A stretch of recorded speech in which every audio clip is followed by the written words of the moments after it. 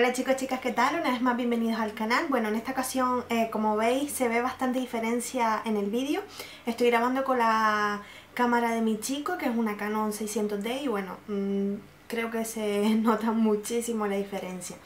He tenido que mmm, reducir el vídeo porque eh, pierde mucha calidad, la verdad, una vez que lo reduzco, pero es que si no, no podía subirlo. Era imposible por el tamaño, ¿vale?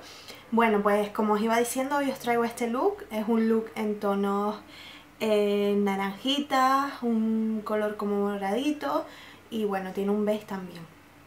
En los labios, como veis, lleva un shimmer con mucho... Eh, un shimmer, uh, un gloss con mucho shimmer. Como veis, es un tonito como morado también.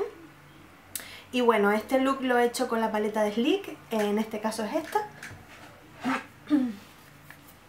Esta paleta, que me la trajeron los Reyes Magos.